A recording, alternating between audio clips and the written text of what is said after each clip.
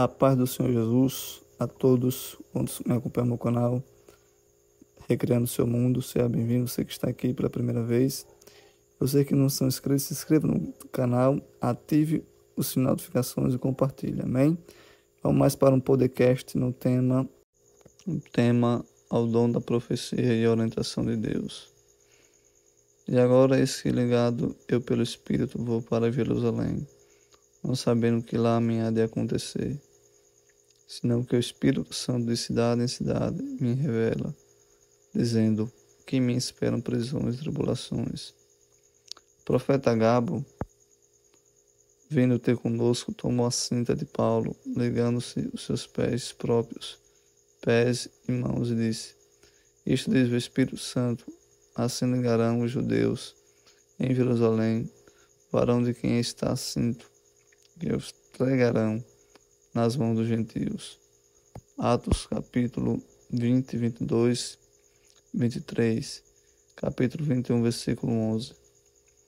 Deus tem muitas maneiras de mostrar aos seus filhos sua vontade para a vida de cada um.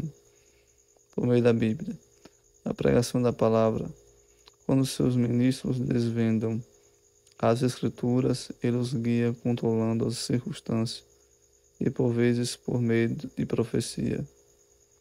Contudo, essa é uma área onde um grande cuidado deve ser tomado, pois aqui alguns já caíram no erro. Devemos ser cuidadosos para seguirmos os procedimentos das Escrituras. Quando o Espírito de Deus falou com Paulo, por intermédio do profeta Ágabo, conforme citado, disse somente o que aconteceria. Cabia a Paulo a escolher se deveria ir ou não.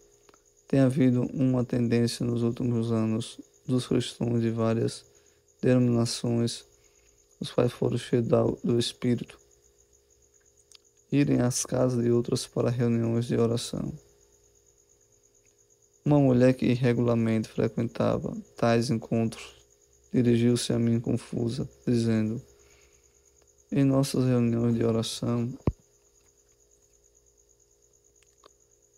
As pessoas passam horas expondo as mãos umas sobre as outras, orando e profetizando sobre a vida de cada uma.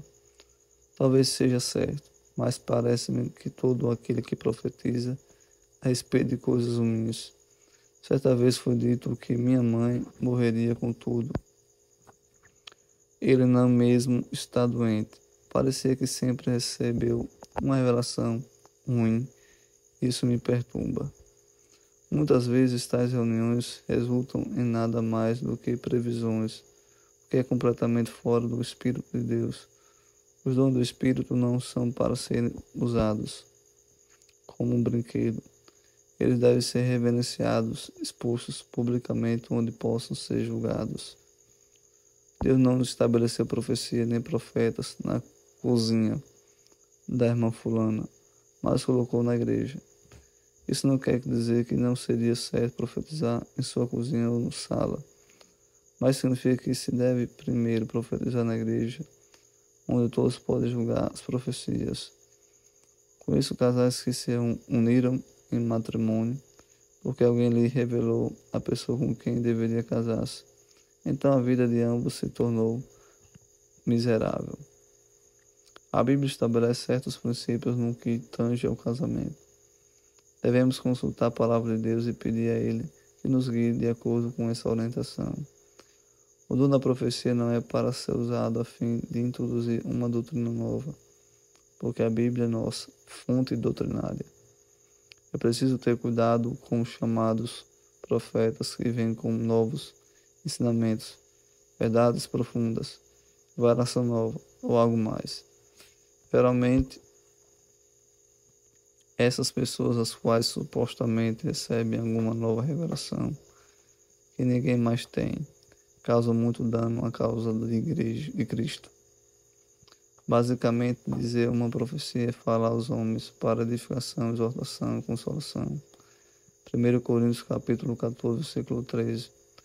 O Espírito de Deus não daria algo que dividisse a igreja, pois esse não é o Espírito do amor Frequentemente, devido aos que se dizem profetas, tornaram-se cheios de orgulho, Alguns me disseram que estão certos e outros errados. A menos que você creia como eu, irá perder-se. Quando lhe foram pedidos os versículos das suas novas revelações, responderam: Você precisa ter a revelação. Está além da Bíblia. Um ministro que outrora era muito sensato declarou: Não preciso mais daquele livro, porque estou além dele. Então tirou a Bíblia do chão, dizendo: Tenho o Espírito Santo, sou um profeta, Deus envia as minhas instruções diretamente.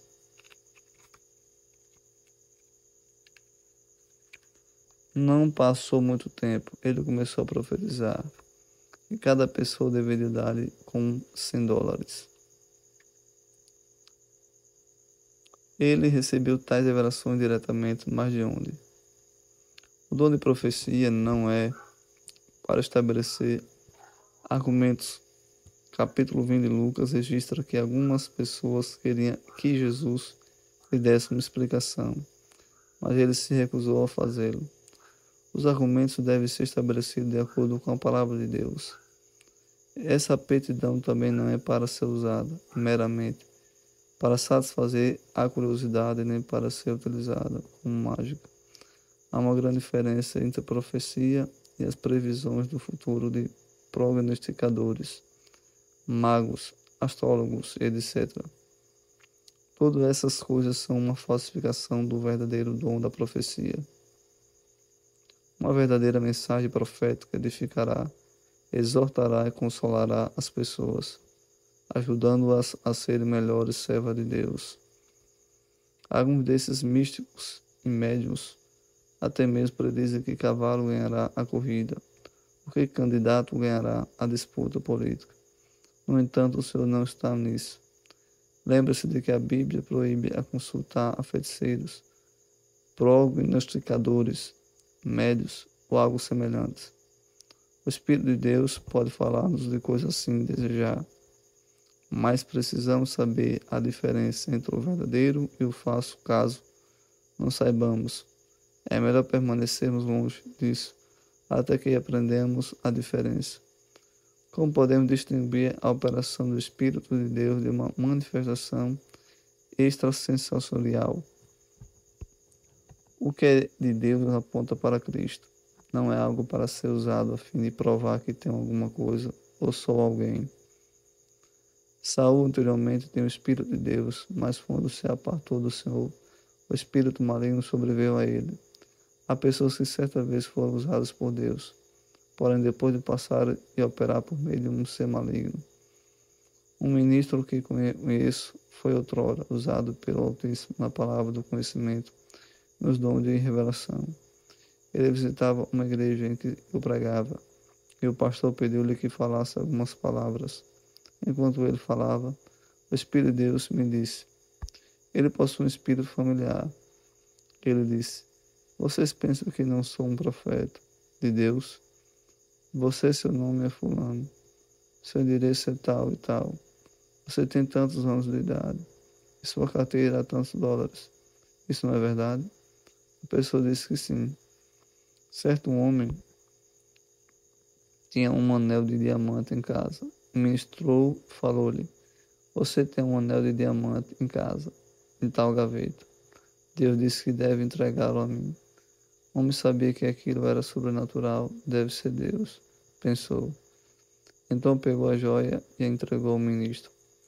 Os charlatões enchem os bolsos dessa maneira. Entretanto, não era o poder de Deus em demonstração, mas sim um espírito familiar. Os espíritos familiares sabem que você é. Eles conhecem e dizem às pessoas fatos sobre a sua vida. Pela mesma evidência, o Espírito de Deus faria o mesmo pela palavra do conhecimento, se visse o propósito em fazê-lo. Contudo, não seria uma mera exposição pública para satisfazer curiosidade. Ao contrário, teria como objetivo a edificação. Não aconteceria com a finalidade de atrair atenção, a fim de fazer as pessoas pensarem que você é alguém importante, nem de pôr diante os relógios em seus bolsos. Saiba que o dom da profecia é real, bom, correto e deve ser usado para o bem. Amém? Chega mais no fim da mensagem. Espero que todos compartilhem. Deixa seu like e comenta. Amém? Até a próxima.